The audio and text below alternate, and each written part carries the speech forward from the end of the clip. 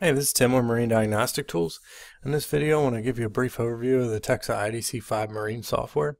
Uh, first off, I want to say thank you for your purchase, and we'll go ahead and get started.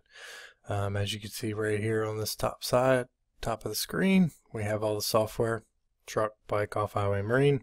Down here, you're going to find your news the Texa puts out. Go ahead and minimize that. And then we'll scroll down here, and you'll see your settings, uh, to make that bigger, just hit that plus sign. Here you have your app, language change, resolution change, and assistance. Um, there you have your update checks. Very important if you want to see if you have any updates or patches, click on that and it'll run you through. Um, pretty self-explanatory. Your Texa app and then your My Texa is just a website. Okay, so we're going to go ahead and click on the Marine. And here you'll see the categories, all the engine types. On the left hand side, your manual identification, that's where you could type in your license plate is what they call it, but it's really, you know, I use a serial number if you want to see saved information. Your iSupport, that's going to be more for us. Uh, we send, when you have an issue and you call in, we send information back to Texa. This is what we use. Okay, top of the screen right here where the arrows are, that's your forward and backward. Your home screen, and your settings that's where you can find your Bluetooth if it's not working correctly and get in there and change check that. Your keyboard your IDC5 V13.4 that's your version. So if you call in and you're not on the right version we'll go ahead and update your system and change that. Over here where your down arrow is your IOP same thing as your categories here. So we'll go ahead and click on the inboard engines here you have all your makes. You can scroll down through here. See all those. Um, if you notice these blue D's, that just means it's a demo. I can go through and run through a demo so you guys can see it. Um, you, yours shouldn't have that. Also on this little square box, this is where you can go ahead and uh, connect. If you're already uh, have the cables hooked up, you can go ahead and hit that and do a uh, connection right there. Um, I don't re recommend that. I usually go to the engine and go through that way, and I'll show you just how to do that right now. So we'll scroll up here. You see these letters. This is basically your engine makes. Matches the same thing. Uh, a little bit quicker way to doing it. So we'll hit M, and we'll go to MerCruiser and show you how to do that. So here you have all your models. Same thing on the right hand side. You can go through it that way, um, or you can just scroll through it this way. Okay. You'll notice on the left hand side as we go through this will start changing and giving you more and more information. So we'll go ahead and do the 350 mag.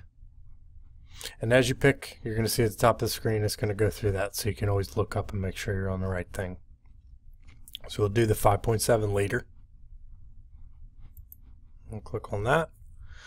And your vehicle code, inboard engine, sometimes this will have little numbers. It's really your date. It'll let you know what the functionality is. So if it's a 15 here and an 08 here, it means it's good from 08 to 15. Um, sometimes it'll work regardless of that date, but it always helps to try just to make sure. So we'll go ahead and click that. This will bring up your gas injection. Uh, so here's your global scan. You can hit this or click this and it'll go through and tell you what exact what systems are on there and what the uh, box is recognizing on the engine. Uh, what I like to do is go ahead and hit the gas injection. Okay, so here's your gas injection. Your diagnosis on CAN node, that's what I recommend doing for, uh, for Mercury engines. So you come over here to this little film strip and you'll hit that and it'll give you your cables. This screen's going to pop up you're going to do the AM01 can plus the AM25. Here's your AM01 can. You'll know that by the red knuckle. And your AM25, it's a big purple block. It's the only one in there that's that big.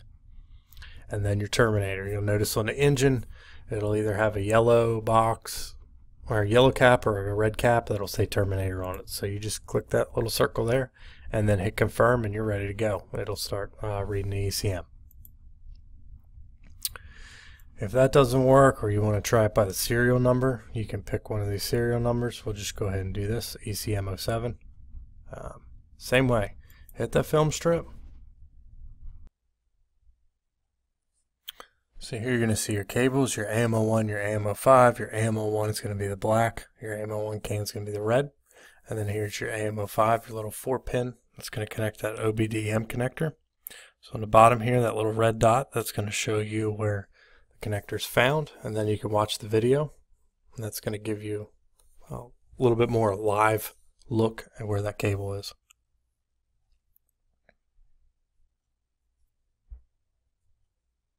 You see that 4-pin right there. Okay. And then you just hit next and it'll connect. Um, your battery, sometimes the engine will need the battery to power up the uh, box. Other times the ECM will do it. It just depends. Um, if you're going to use that battery on uh, an, in, an engine, like if you have two engines, you're going to use the same battery powers that engine. Okay.